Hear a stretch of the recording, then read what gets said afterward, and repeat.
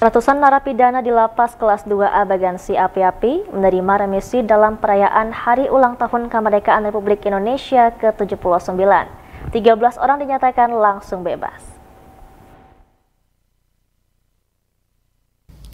Memperingati Hari Kemerdekaan Republik Indonesia yang ke-79, Lapas Kelas 2A Bagansi Api-Api menggelar upacara bendera.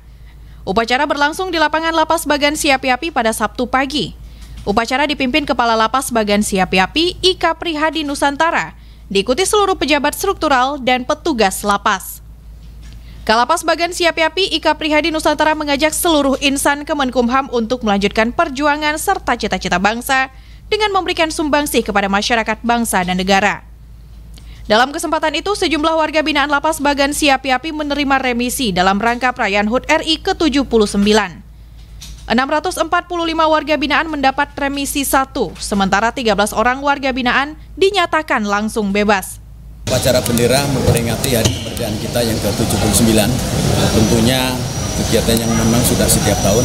Yang penting bahwa kita juga memberikan e, remisi kepada warga binaan yang sejatinya Bapak Bupati kita undang ke sini. Namun demikian karena tempat kita perwakilan nanti upacara eh, peringatan dari ulang tahun kemerdekaan di lapangan bersama pemerintah daerah.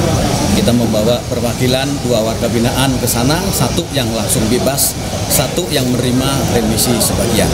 Jadi insya Allah ada 12 orang yang hari ini bisa kembali ke tengah-tengah keluarga seperti tadi disampaikan oleh sambutan melalui Pak Menteri Hukum dan HAM bahwa mudah-mudahan mereka juga bisa kembali ke masyarakat berkontribusi untuk bangsa dan negara.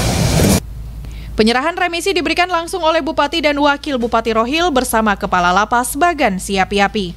Dari Rokan Hilir, Julius melaporkan.